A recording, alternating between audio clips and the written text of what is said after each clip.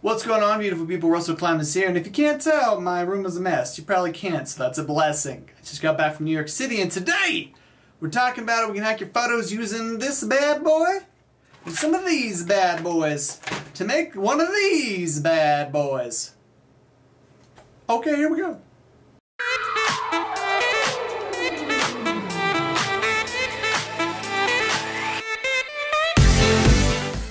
Okay, first image that you didn't see that I'm going to teach you how to do first is a little different, but it's cool nonetheless. You can take your diamond plexiglass blade, get from lightpaintingbrushes.com, universal connector, pop that bad boy on there. Then you're going to take a flashlight, make sure it has the strobe mode. Okay, you got this. Once you have that, then watch this part of the tutorial and you'll see what this does. Hey dudes, we're back in the studio and I'm getting that shadow on my face because it's what I like. You're welcome. And uh, yeah, Heather's with me again and we're gonna do some cool, some of the cool stuff with the blades. As I look at this, I'm terrible, I'm looking at the screen every time. It's, I'm better now. It's okay. I need, I need help.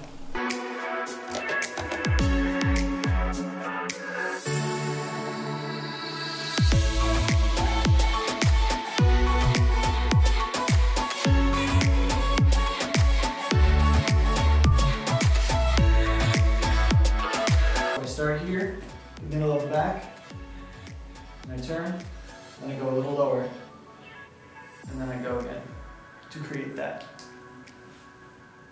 Now we're actually gonna freaking do the image that I showed you in the beginning. Okay, so blade and gels,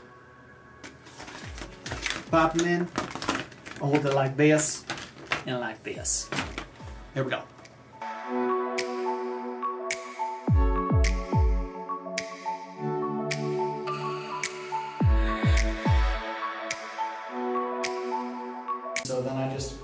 Move around like this and create wind. Whoosh. Special effects. Yeah, big budget over here. It's important to note that this works just as well without gels, and that is what something like this looks like. So now you guys got an idea of what it looks like with and without gels. I like them with gels just because it's, I like the color. Be totally not necessary though. And those are just some quick ways to hack photos with acrylic blades. And, you know, if you want to see my equipment and stuff that I use, I put it in the description below. I get a little bit of kickback if you get it, so that would be great, but now I can tell you to live your life. Speaking of, if you like this video, hit the like button, and if you want to subscribe, that would be flibbity-tastic. But, like I said before, now I can tell you to live your life! And up to your beautiful faces in the next video. Okay, bye.